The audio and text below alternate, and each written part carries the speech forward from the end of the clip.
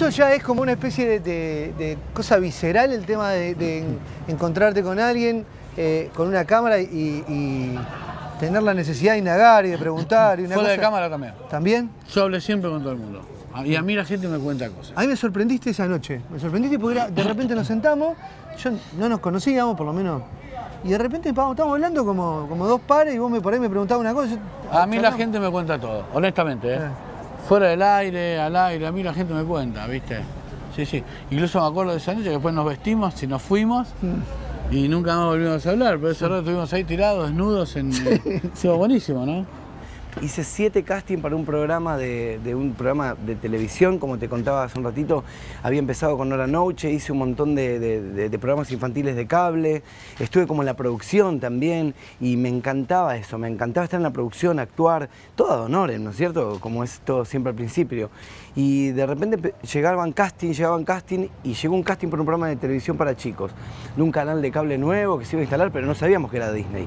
Y bueno, casting 1, casting 7 casting hice. Y cuando me dijeron que quedé y, que, y me dijeron que era para Disney, yo no, decía, no, no puede ser, porque aparte Disney lo amo. Disney está conmigo desde que soy muy chiquito porque mi, mi papá pasaba películas de, de Disney infantiles en proyector en cumpleaños. Y yo lo acompañaba siempre los fines de semana porque el mango no alcanzaba en casa, mi viejo trabajaba en el banco. Y los fines de semana lo acompañaba a animar cumpleaños y yo lo ayudaba a animar.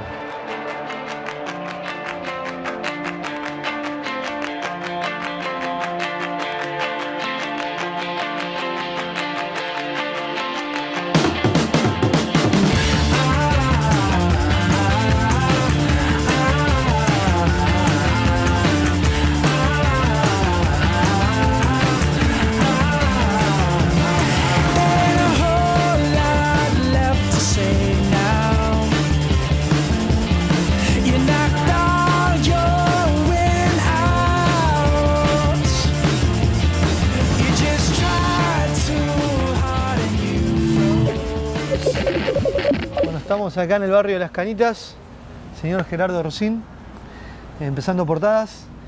¿Es verdad que sos capaz de irte hasta Rosario con el auto a comer un helado de Esther? Eso dijo Reinaldo el otro día, de ahí lo sacaste. Yo no estoy seguro eh, de haber ido solamente para eso, pero no puedes mentir, ¿eh? O sea, es probable, no, no. Sí es cierto, eh, sí es cierto que me ha pasado de agarrar el auto y terminar en Rosario, eso sí me ha pasado.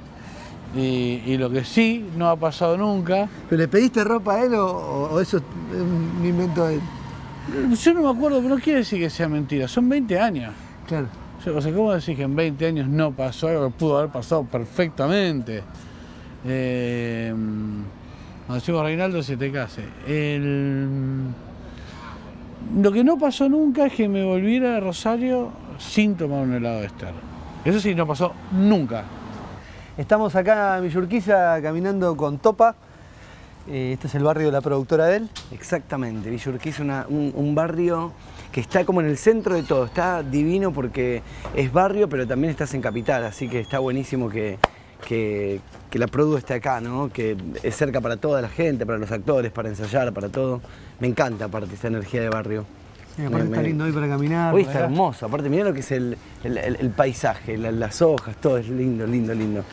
Trabajo de productor de televisión, que es el que yo hago, Sí. es, es muy fácil de comparar con el de venir a un restaurante. Tengo muchos amigos que tienen restaurantes y que viven una situación muy parecida, esta cosa de abrir todos los días, el riesgo, El estrés también. el estrés, la necesidad de agradar a la gente, pero también de cocinar, lo que te- de servir lo que te gusta a vos. Yo no soy los productores que, uy, ¿qué hacen todos? Uy, programa de panel, ah, vamos a hacerlo. A mí no me gusta así. Lo- si- respeto. Si viene otro de al lado y te dice, no, pero escúchame, Gerardo, mide más esto, ¿por qué no? no? Es la historia de mi vida. Esta es la historia de mi vida. Pero mi trabajo es, este, yo soy cocinero Claro. en ese punto. Y yo no cocino eso. Y, y- y he tenido la satisfacción de ir con géneros este, viejos en la tele, pero con formatos nuevos. Y a mí me va bien, a veces contracíclicamente. Es decir, cuando nosotros hicimos un programa de libros, no había programa de libros en el cable. Claro. A nosotros nos fue muy bien, y nos fue muy bien que decir que medía rating. Cuando hicimos Gracias por venir, no, sé, no era el momento de esa clase de programa, la tele estaba muy picante, en otro ritmo. Pero vos lograbas un, clima incluso con Julieta Prendi que estaba al, al lado, que a mí me sorprendía también que se prenda en, en ese tipo de clima, porque por ahí venía de otro palo, incluso más del humor, con, haciendo con Franchella y con las cosas que hizo. Vos lograbas un clima muy emotivo, donde al tipo le, le- le mostraban partes, ya sea Estoy de acuerdo, de su- pero no se usaba. Volviendo a la pregunta Sí. anterior, che, ¿se usa otro tipo? Bueno, qué sé yo.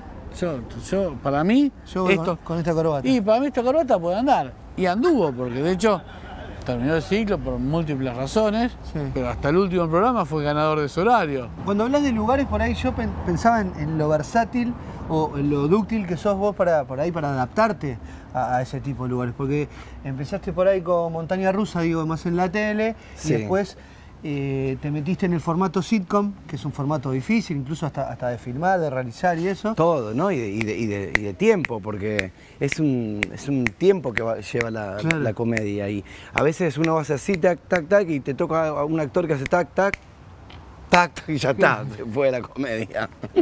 Pero pasa, pero bueno, ahí está también el adaptarse. Porque como Eso también que- te lo da el teatro después, Claro, ¿viste? Te, sí. te da. De, todo la- de todas las ramas uno va aprendiendo, el cine, el teatro y, y nada, qué sé yo, yo me fui formando con eso también. La tele me apasiona, el teatro es algo maravilloso porque estás ahí con la gente y el cine tiene otro tiempo, ¿viste? Donde también te ubicás en la parte como, como con los actores, te conectás más, porque tienes mucho tiempo para charlar, para y está bueno.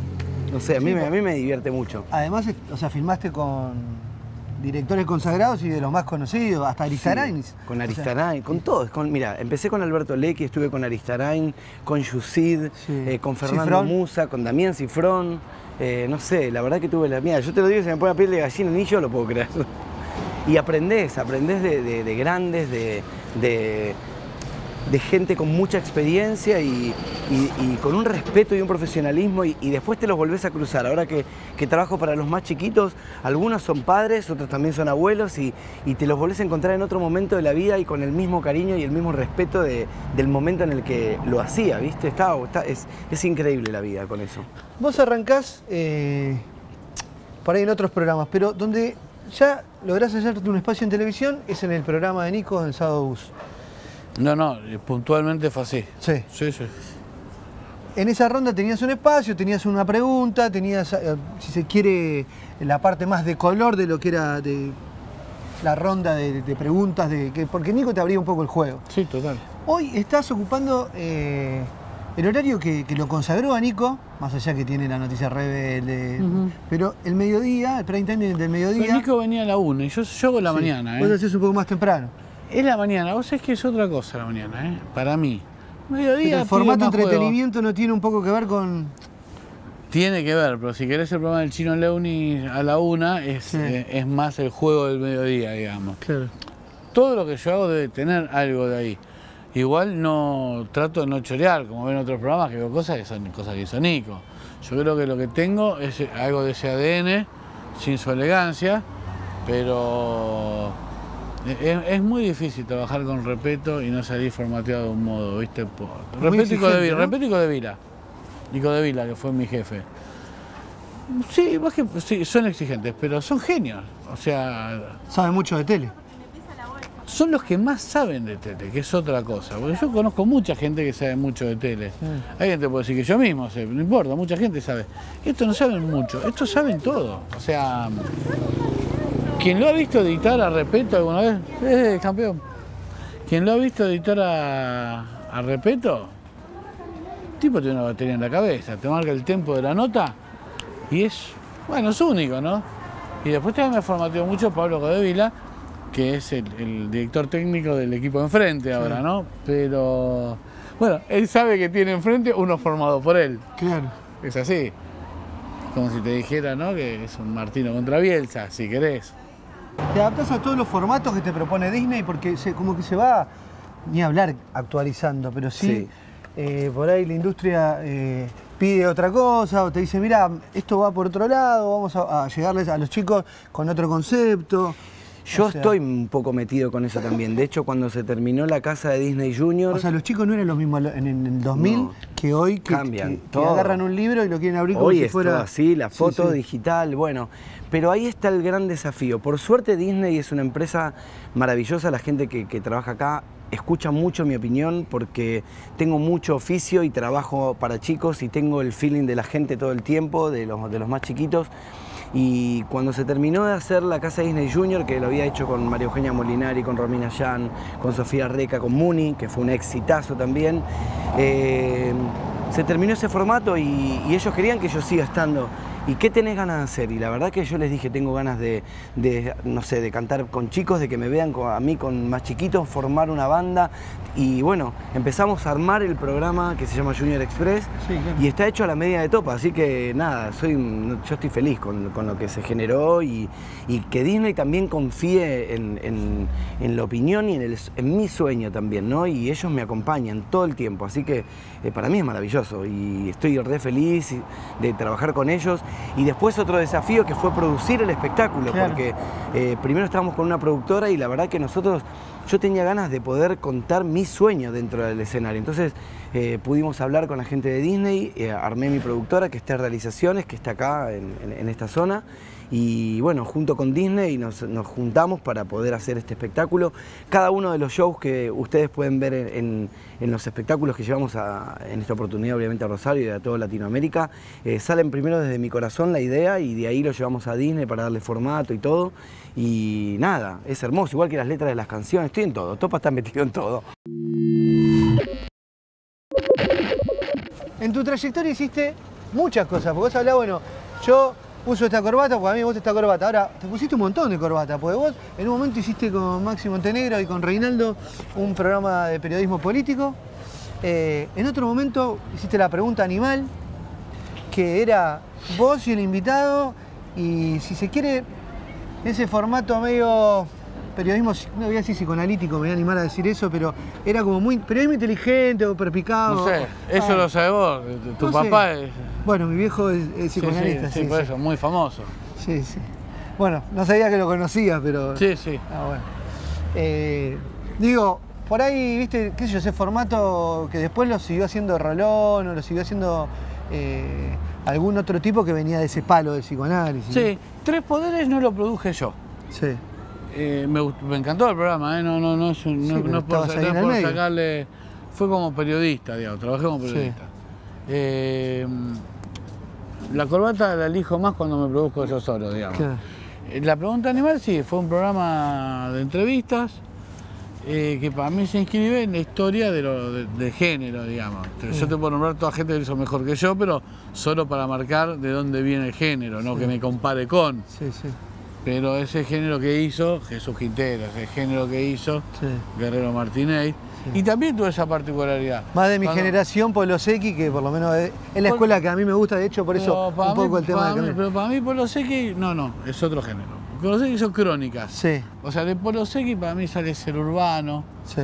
eh, sos si querés, ¿viste? Es como Sí. más, es, es más de crónica. Yo lo entrevista, mano a mano. Sí, Que un poco como charlábamos antes, cuando yo lo hice, ya había un montón que lo habían hecho antes, pero no lo estaba haciendo nadie y parecía que no iba a andar.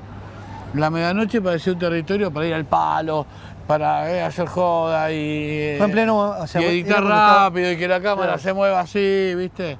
Eh, creo que volvimos a usar el pie de cámara nosotros, porque todo el mundo en la mano a esa hora. Y, y fuimos con una propuesta muy clásica, pero bueno, comí seis temporadas, de modo tal que no. Y creo que si vuelve anda, o sea, ni siquiera es que se murió. Pero. No, es eso, a mí me parece que yo estoy muy vinculado a la historia de la tele. Me gusta la tele, me gusta sentir que hago algo porque otro lo hizo antes y en ese sentido encuentro, no era un programa, pero la verdad es que los hago a mi modo y cada uno tiene su vuelta, el pregunta animal, Morphy, me parece que es un programa de cocina que cuenta su propio cuento, pero voy con el género que los demás no van. O sea, yo veo el que falta, y que, eh, ¿tengo el micrófono puesto acá? No, ¿La campera? no. Este, veo el que falta y voy. O siento que, que me gusta, que me quede cómodo, ¿no? ¿Hay algunos trucos o algún saber cómo eh, llegarle a esos chicos y llegarle a los padres al mismo tiempo? Con la, la construcción de la obra o de la Sí, pieza sí, que vos sí, haces. Primero- para, que, para que funcione. Primero es el mensaje, lo que tenés que contar. Contar con un gran equipo, porque no estoy yo solo, tengo un gran equipo de creativos eh, que me acompañan tanto en la música, Fede Montero, Mauro Cambarieri, Tato y Nati, que están en la parte creativa, toda la parte de producción. Como te decía, Oski Guzmán, el negro, es un gran equipo. Estamos todos nosotros más Disney. Claro. Entonces, es un gran equipo que trabaja para cada cosa, para, para- para cada momento. Yo creo que los pilares de esto es el humor, el humor es fundamental, la música, el mensaje que queremos contar y los grandes actores que tenemos. La verdad que, que los actores son maravillosos y eh, la gente nos compró en la familia, en, la casa, desde que nos miran todos los días y escuchan la música. Eh, así que Nada, yo creo que es una mezcla de todo. En, en mezclando todo eso es, es la, es lo que sucede, ¿no? La, la magia en el escenario después. El tema de la radio. eh, en algún momento tuviste un programa importante de radio y, y estabas todos los días haciendo radio. ¿Lo extrañas?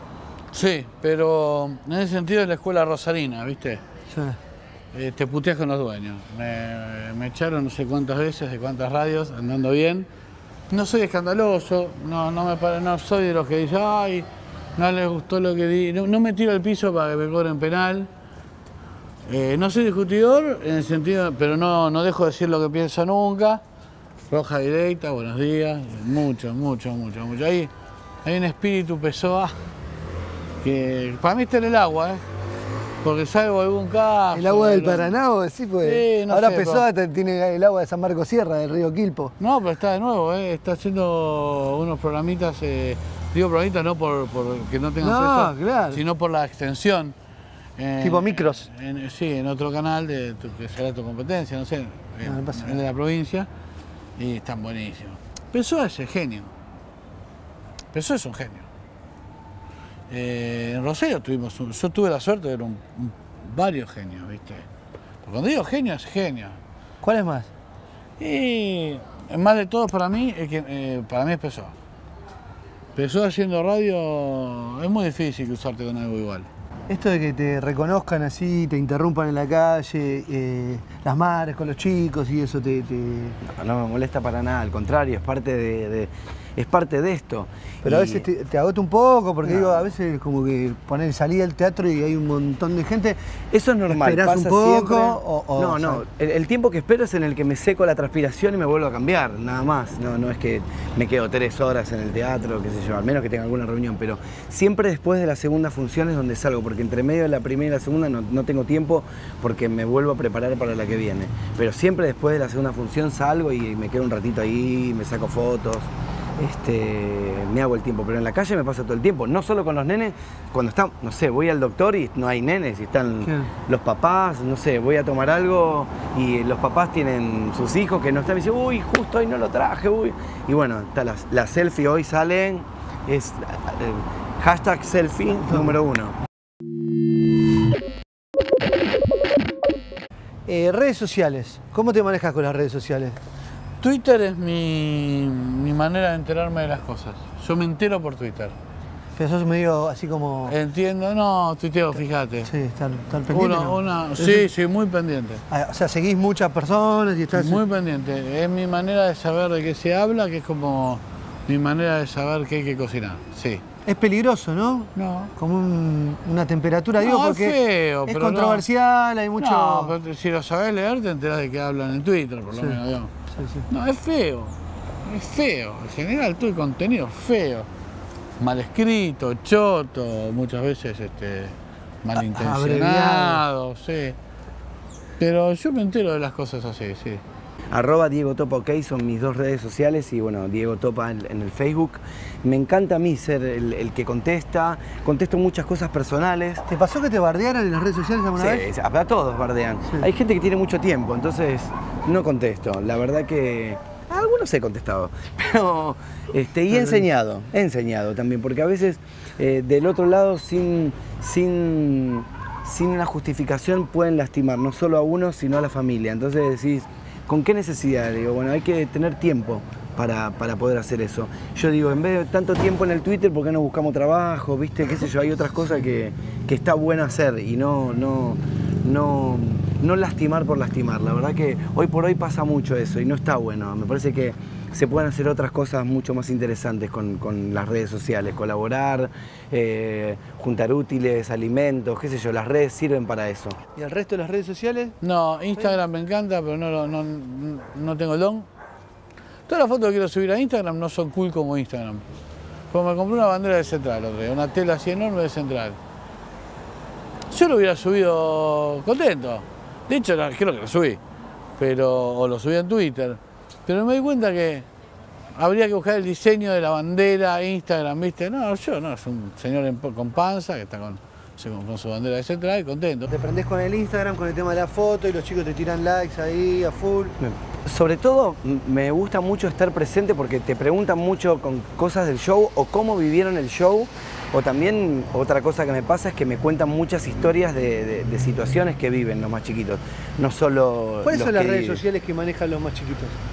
No, no la manejan los, los más chiquitos las redes, las manejan los papás o los abuelos. Ahora están los abuelos a full. A full. Entonces te cuentan cosas por inbox o te muestran cómo lo disfrutan, te mandan dibujitos, te mandan saludos o miles y miles, tengo muchos casos por día de chiquitos que lo necesitan porque están enfermitos o porque necesitan una palabra de aliento, eh, un videíto o algo y bueno, estoy muy, muy presente con eso. Y después Facebook, que te iba a preguntar por Facebook. Tengo, pero no uso. ¿Te sirvió para reencontrarte con amigos No. de Rosario? Nada. No, no, de Rosario. Mis, dos- mis mejores amigos, con los que estoy eh, conectado todo el tiempo, digamos. Y así, como grupo, reencuentro. Lo único, o sea, me quiero a los dos. Pero los de la primaria me encanta. La secundaria tengo buena onda, eh, con eso, pero buena onda. Pero no, no tengo el, el- el hábito de reencontrarme, ni, ni que, ni, ni estoy muy al tanto de, de las vidas, pese a que son toda gente divina. Sí, pero o sea, están en grupos ahí en el Facebook. No, no, en el grupo de la secundaria, si estoy no lo veo, no. En el grupo de la primaria estoy. Estos aparatitos tienen aplicaciones que los chicos ya saben usarlas. Sí, las reusan. El Snapchat, por ejemplo, en un momento estuvo como un auge Sí, tremendo. Yo nunca me enganché con Snapchat, no sé por qué. Mi sobrino sí está con Snapchat, con eso, con las caritas, qué sé yo, pero no. Hay, hay ¿Con cuál- demasiado con- también. Yo estoy sí. con 41. Dale, pero vos con cuál te enganchaste. Yo con Instagram a full porque me gusta mucho la fotografía y el Twitter. Pero tiene su magia las dos, ¿viste? Facebook, Y Facebook poco, pero estoy con el Facebook también. Pero estoy más con el Instagram y el, y el Twitter. un ping-pong rápido para terminar eh, portadas. Una película. Mm, dos, qué bello es vivir. Ningún año no la veo. No paso un año y no la vea. Y después de horas, que durante toda mi vida fue mi película preferida, hasta que me crucé con la otra y me dejó. vivir. Y me dejó compadre separado de nuevo, pero sí. Una película, La, La Sociedad de los Poetas Muertos. Uh, Robbie Williams. Oh, esa película.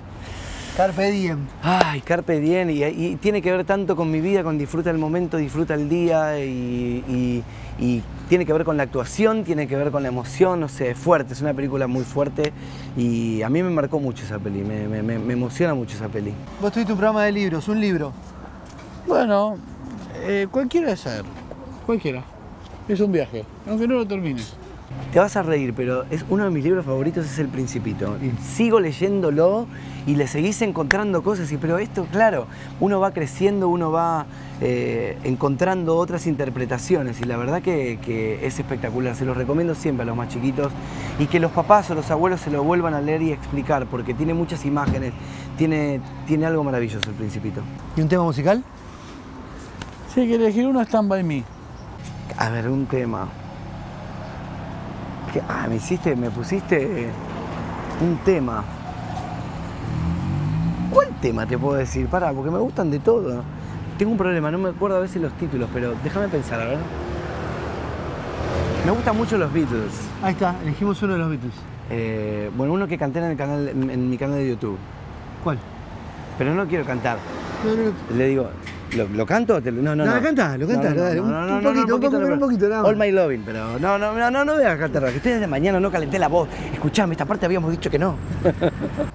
Y una frase que te haya acompañado, que te hayan dicho en algún momento de la vida y que vos eh, te acuerdes, digas, No, que me hayan dicho no, que me hayan acompañado sí. ¿cuál? Me gusta un verso de García. Yo nací para mirar lo que pocos quieren ver.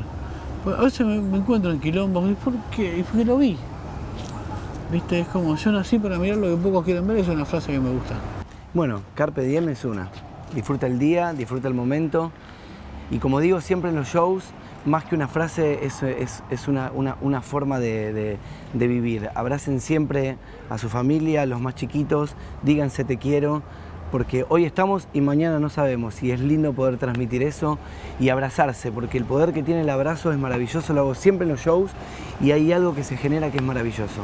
Los espero, porque de verdad que es un, un show para vivir en familia y para poder vernos a los ojos. De verdad que lo hago con todo mi corazón.